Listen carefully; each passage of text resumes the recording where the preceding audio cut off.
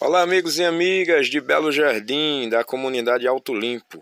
Hoje a gente está tendo um encontro muito bacana, muito abençoado, com muita bênção e muita paz, com o nosso amigo André Farias, ele que é missionário e também evangelista da comunidade Doce Espírito. E sintam-se todos convidados, às 5 horas da tarde, a estar presente aqui por trás da Motorac, tá? na residência de Zé Mário, e a gente vai fazer aqui uma tarde muito abençoada de louvor e cura e libertação. Então sintam-se todos convidados a estar nesse momento de fé, tá bom, pessoal?